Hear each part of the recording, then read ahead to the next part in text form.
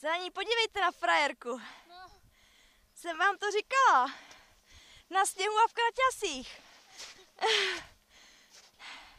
Zatím je sníh jenom pokotníky.